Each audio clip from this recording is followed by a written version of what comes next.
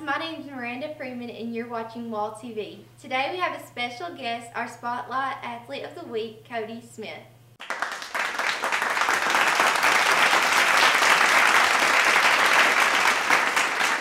So Cody, tell us about yourself. I'm from Indianola, Iowa. It's a town about 10 miles south of Des Moines. Um, I played high school ball there. After my uh, high school career was done, I decided to take my uh, talent to the next level, and I decided to commit to Iowa Central Community College in Fort Dodge, Iowa. Um, after my two years were up there, I ended up signing with Waldorf and just got here this fall, and so far I love it. So. So what do you like most about football? Uh, I love the the team atmosphere of it, the brotherhood, the the feeling that I can be a part of something greater than myself. I think that uh, football really helps build character. It's one of those sports that like lets you stay true to yourself and to all your teammates around you.